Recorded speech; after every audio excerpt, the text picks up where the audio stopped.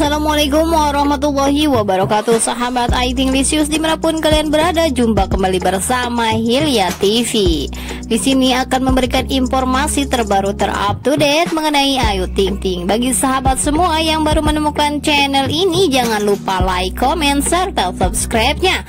Tekan tombol lonceng notifikasinya agar kalian selalu mendapatkan informasi terbaru terupdate mengenai Ayu Informasi pertama yang akan Mimin sampaikan pada kesempatan kali ini datang dari akun Brata Kartasasmita, idola sang biduan dari Depok, di mana sempat diwawancari oleh awak media beberapa minggu yang lalu bahwa Brata tidak mempunyai rasa kepada Ayu Ting Ting.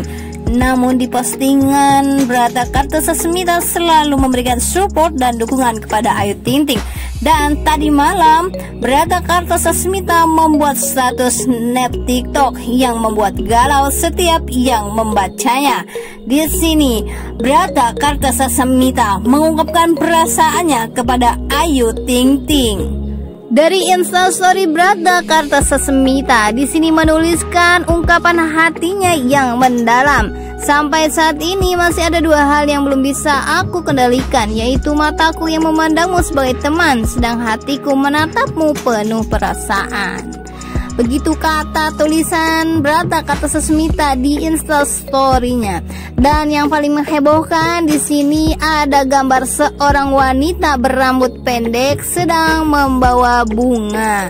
Dan di sini Brata mengatakan dia pernah bercerita bagaimana dirinya disakiti oleh seseorang yang dia cintai di depanku yang juga mencintainya. Wow, perasaan mendalam yang Brata tuliskan di sebuah akun Instagram membuat semua orang penasaran siapakah gadis berambut pendek tersebut. Apakah benar dia adalah Ayu Ting Ting yang sekarang berambut pendek ataukah ada seseorang yang lain yang Brata sayangi selain Ayu Ting penting. Hanya Berata Kartasasmita yang bisa menjawabnya. Kita tunggu saja berlanjutnya cerita ini. Apakah akan menjadi sebuah kenyataan atau hanya sebuah fiksi belaka?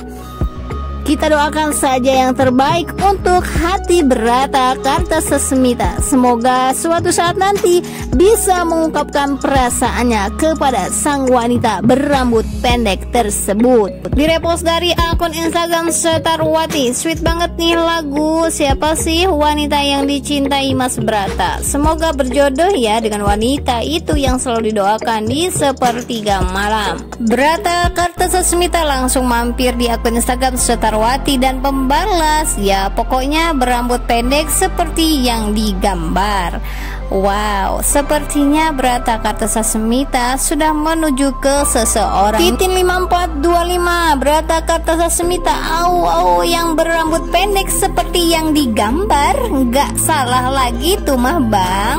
Yang punya alamat palsu. Di sini ya sudah tertebak nih sama para sahabat sebuah bahwa yang dituju itu menjuru ke Ayu Ting Ting. Kemudian dari Mom Lian, Brata pernah ngomong di infotainment, tapi katanya sama Ayu nggak ada rasa. Bibir boleh menolak, tapi hati entahlah hanya Allah dan kamu yang tahu. Kemudian dari Dian Nila, cepetan lamar dok. Berata kata Smita langsung menjawab nih, udah kirim email kemarin lamarannya. Cie cie, Bang Berata sudah berani ya sekarang umar kemesraan di media sosial. Dari Fatah Nana 93 Berata kata Smita, duh seharian off IG, eh malam ini buka IG langsung melek semangat Kak Berata. Dari Ari Hermanto, gercep dok, semoga berjodoh dengan Ayu Ting Ting. Semangat jika memang dia jodoh abang, semoga dilancarkan dan dimudahkan jalannya. Amin Allahumma amin. Begitu kata Diana Rosa di akun Instagram pribadinya. Dan di sini ya berata kata Susmita sering menjawab komenan yang diblontarkan oleh para sahabat. Dan di sini selalu menjuruk ke bahagia dan menjuruk ke Ayu Ting Ting. Apakah berata kata Susmita memang sangat mencintai Ayu Ting Ting tapi susah untuk bicara. Kemudian dari Stella Rovers 12, seandainya perasaan itu dinyatakan, berata kata Sasmita Stella Rovers 12 diniatkan. Dan insya Allah dinyatakan tapi nggak bisa secepat balikin bakwan goreng kak. Ditunggu ya Mimin juga akan menunggu surprise dari Kak Berata. Kapan pun itu kami akan menunggu bahagia selalu Berata kata Sasmita dengan perasaan yang ada di hatinya. Semoga secepatnya bisa diungkapkan siapa wanita berambut pendek tersebut. Siapa pun orangnya semoga itu yang terbaik untuk dokter Berata. Kami hanya bisa berdoa yang terbaik Semoga dialah wanita yang dituju. Oke sahabat semua kita doakan yang terbaik ya untuk Berata dan Ayu Ting Ting. Semoga mereka semua mendapat jodoh yang terbaik yang Allah berikan. Oke sahabat semua ini saja informasi yang dapat Mimin sampaikan pada kesempatan kali ini. Jangan lupa like, comment, serta subscribe-nya. Tekan tombol lonceng notifikasinya agar kalian selalu mendapatkan informasi terbaru terupdate mengenai Ayu Ting Ting. Selamat pagi, wassalamualaikum warahmatullahi wabarakatuh